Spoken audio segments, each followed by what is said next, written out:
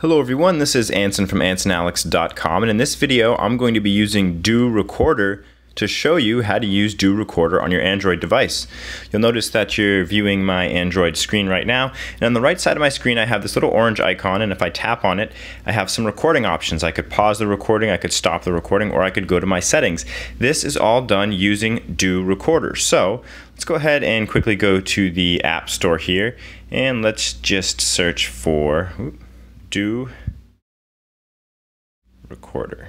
Okay, so here you have it. This is what the app looks like. Uh, I've already installed it, and then we'll just tap to open it up. Um, so you can see uh, it's a recording device for Android. You can record in uh, portrait mode or landscape mode. There are a ton of really, really cool features. Actually, I'll show you a couple. If I tap on the uh, little side orange thing again, and I go to the settings down here at the bottom, you'll notice that um, I could also take a screenshot. So if I enable the screenshot feature here, you'll notice that on the left side of my screen there's now a screenshot button so I could now tap on that to take a screenshot while recording.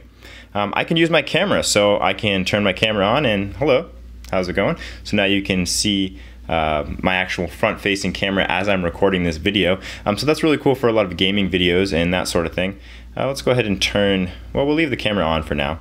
Let's leave the camera on and we'll turn screenshot off. Um, we could enable a brush, uh, so you know I could now draw on the screen as you can see. Uh, let's go ahead and, oh, now we're drawing everywhere. How do I exit the brush? Oh, so we've got our toolbox down here at the bottom. Uh, you notice the very bottom of the screen down in this area.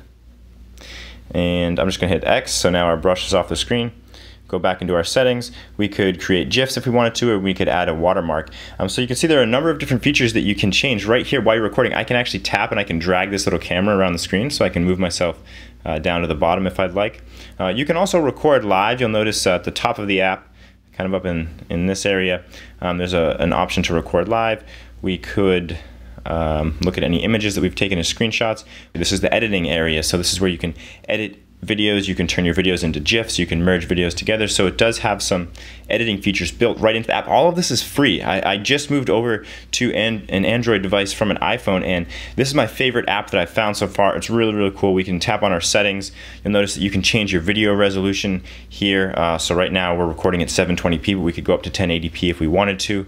Um, you can also change your uh, video quality, your frames per second. We have the video orientation right now is on auto. Uh, we could lock the video orientation if we wanted to. We can choose whether or not we'd like to record our audio. We can choose where our videos are saved to. There are a ton of options and features with this app. It's really awesome, totally free. Um, and you'll notice that again, I can tap on the orange dot on the right side of the screen so I could pause or stop this recording whenever I'd like. Um, so uh, there's also a number of other options in here that you can kind of take a look um, take a look at on your own. Uh, but if you're going to be recording your screen on an Android device, I highly recommend this app. This is what I'm going to be using to record all of my Android video tutorials that I am uh, have planned for the future. So I hope you found this video helpful. If you did, I would really appreciate a thumbs up here on YouTube. And if you want to see more technology tips and tutorials, don't forget to subscribe to my YouTube channel. That's all I have for you for today. This is Anson from AnsonAlex.com.